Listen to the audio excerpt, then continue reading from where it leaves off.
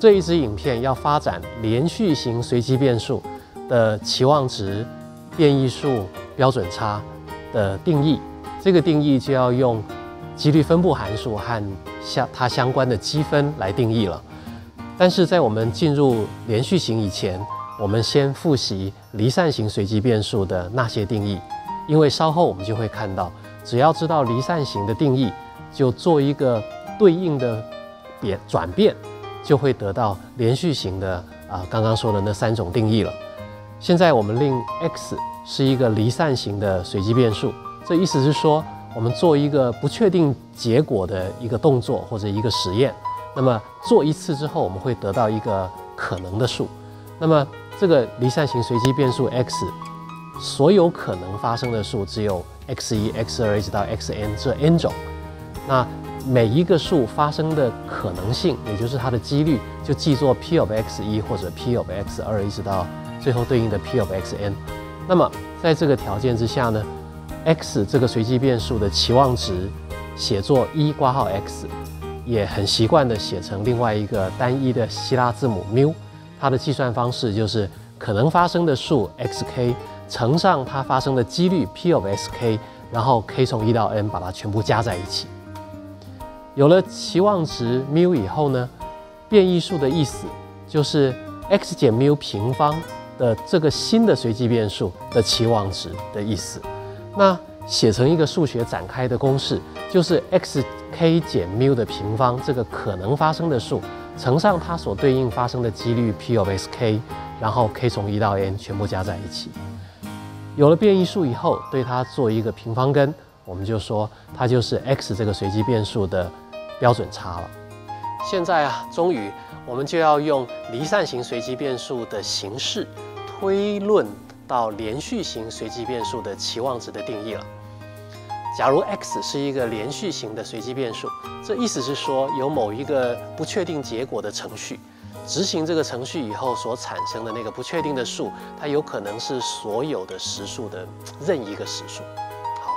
那在这个情况下呢，随机变数 x 要满足一个几率分布函数 phi of x。在数学上，我们已经知道了，phi of x 只要满足两个条件就好了。第一个就是 phi of x 的函数值永远是非负的，大于或等于零的。第二个是 phi of x 在整条数线上的积分必须要等于一。有了这些知识以后呢，我们来回顾一下刚刚知道的。对离散的随机变数来说，嗯，期望值的定义是 xk 乘上它发生的几率 p of xk。让 k 从一到 n 做一个连加，现在要把它从离散变成连续呢，这个连加的符号就先把它换成积分符号，然后呢，这个数据 xk 就是某一个产生的这个呃随机变数的 x 就写下 x，然后它的几率就要换成几率分布函数 P of x，于是就形成了新的定义，也就是说啊离连续型的随机变数 x 的期望值就定义成 x 乘上。它的分布函数 F 在整条数线上的定积分的值。同样的，连续型随机变数的变异数的定义仍然是来自离散型的那个定义，同样的样子抄过来。也就是说，啊，这个变异数呢要等于新的随机变数 x 减 mu 的平方的期望值。从刚才我们所知期望值的积分定义会知道，这个期望值就是 x 减 mu 的平方。乘上分布函数 phi of x 在整条数线上的积分，那么同样这样做出来的变异数的单位会是原来那个连续型随机变数的单位的平方。于是我们又把它取了一个正的平方根来定义，它就是标准差，也就是 sigma 是 variance 是变异数的平方根这条公式。期望值、变异数跟标准差都是统计里面非常关键的观念。那同学们将会在统计课啦，呃，或者经济学的课啊，或者甚至于是地球科学、物理、化学这些课里面啊，还有生物学，你都会碰到的。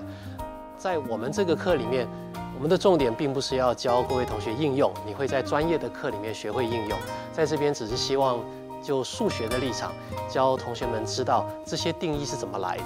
还有，当然很重要的，它怎么样定义成积分的式子的？所以呢，接下来我们就是啊，用这些定义做一些积分上面的练习。